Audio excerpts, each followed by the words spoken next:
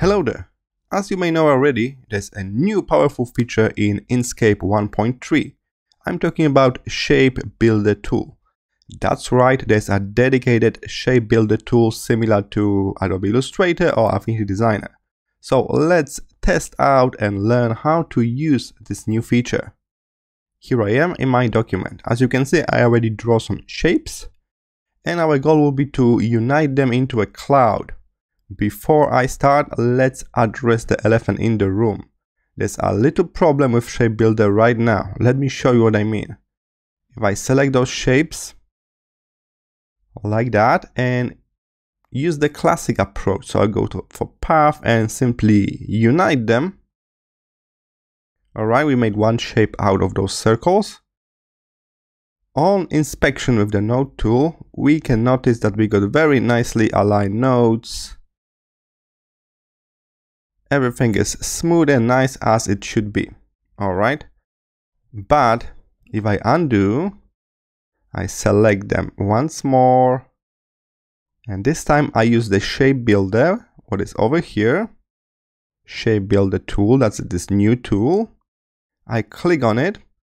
For a moment, everything will like gray out. I can see only selected shapes. All right, and now we got two modes, plus and minus mode for adding stuff so we can make a union or for subtracting shapes. Let's go with plus so we can simply click and drag across those circles. And now I need to confirm this operation. I finish up and it seems like a very same result at first, but on the inspection you see it already. We got many totally unnecessary nodes. Let me just zoom in. Look at that.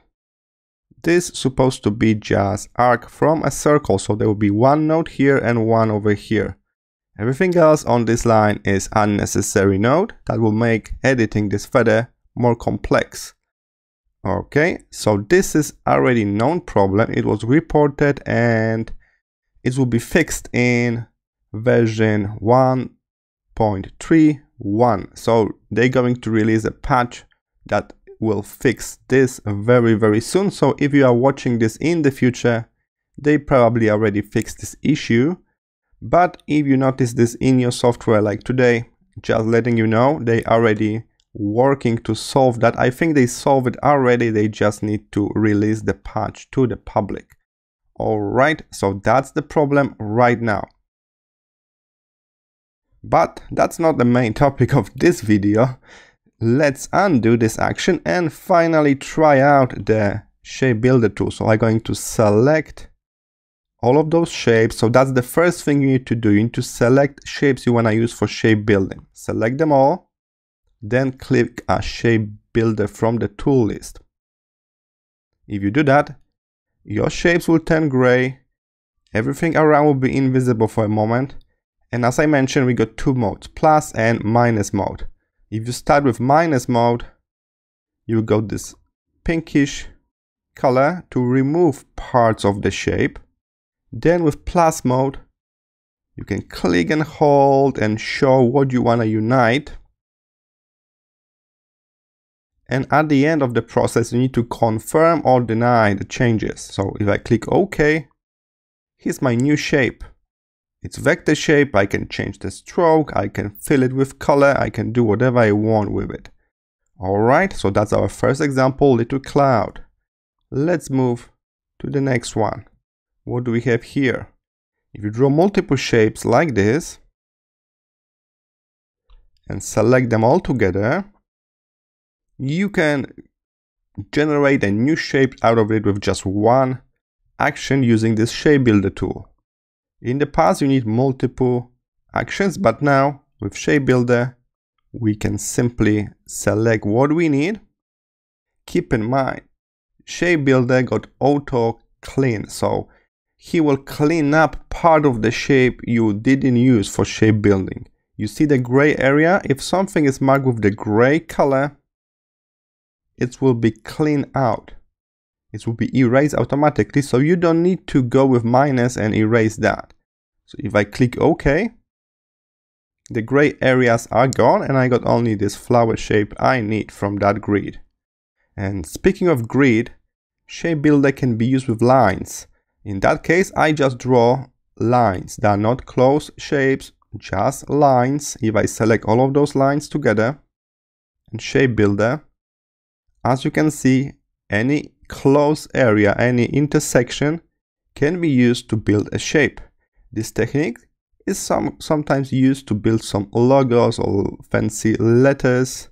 So we can actually create a grid for ourselves to build shapes as we please. And then when I click OK, the gray areas are clean and I end up with those shapes. So shape builder tool is very handy if you're working with some kind of grid. That's a nice apply of this tool. And here's the, another case. Normally in the past to make this nice infinite symbol, we need to do multiple operations. We need to pay attention to the layer panel, what is above, what is below. And now we can just simply select all of those shapes. And if you go with shape builder, select what you need and as I mentioned the gray areas they will be cleaned up for you. So you don't need to worry about them. This auto cleanup is also existent in Adobe Illustrator. It's also in Affinity Designer. But I think here they're showing us visually that oh the gray area is here. Do you want it? Or we will get rid of it. I really like the fact that we can see it before they clean it up for us and I click OK and we got very nice infinity symbol here. What next? That's our last example. Let's select all shapes. That's what we always need to do. Select all of them. Shape build the tool. And then you can simply move this. That's one shape I want. And then this will be separate shape. Take a look, there's line between them. So we can create multiple shapes in one go. You don't need to just unite all of it together we can create multiple shapes. Oh, uh, it was too much. What should I do now? Very simple undo.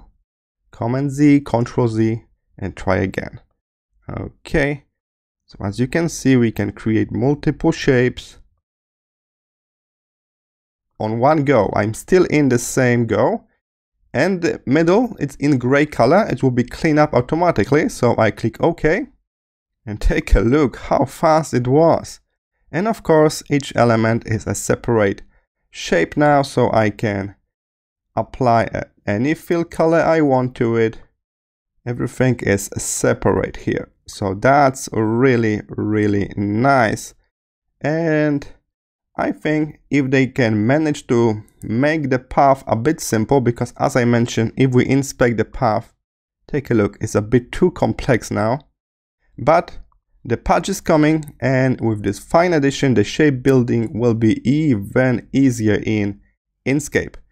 You know what's the best way to learn a new tool? To practice.